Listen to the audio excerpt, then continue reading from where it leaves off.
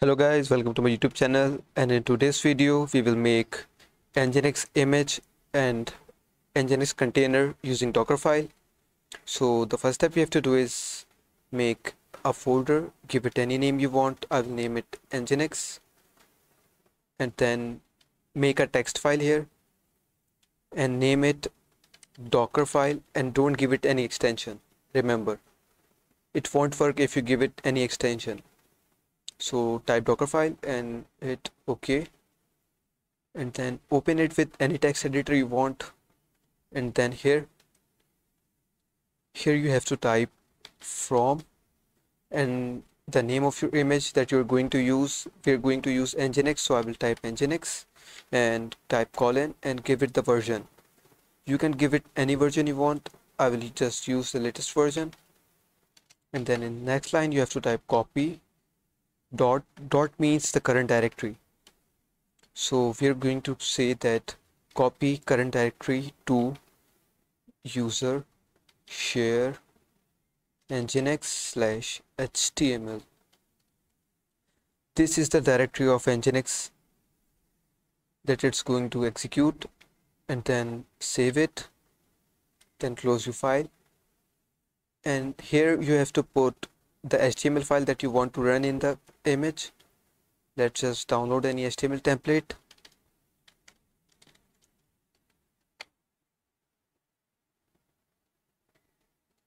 So here let's just download this template.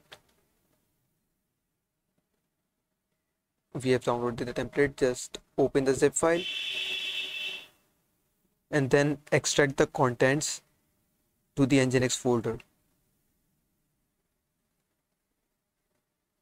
Close it and here's our template. Let's just move it to the main folder.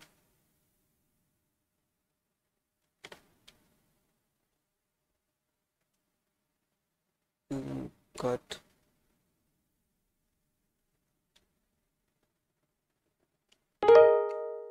then open your terminal here make sure you're in the nginx directory when you open the container.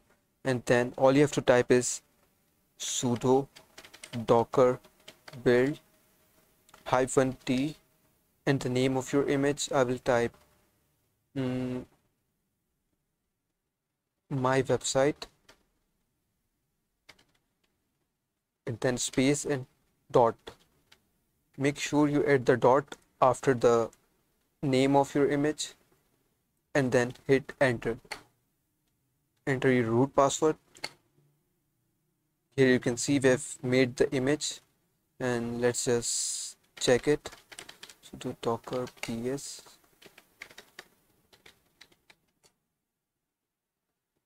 here you can see we have successfully made the image and let's run it. To run the container from the image you have to type sudo docker run hyphen hyphen name and the name of your container I will type my container and then hyphen p for the ports. Give it any port you want. I will type 27016 and the default port of nginx is 80 so I will give colon and then 80 this is our the port that we have exposed and this is the internal port. And then type the name of your image.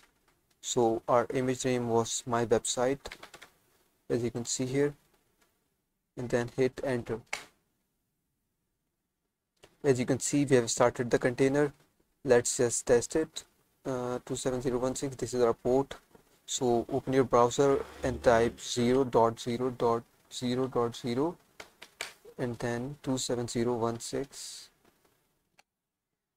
as you can see we have, we have successfully started the website on our local container. Make sure to subscribe the channel if we have helped you somehow. And like the video. Take care and see you in the next video. Bye bye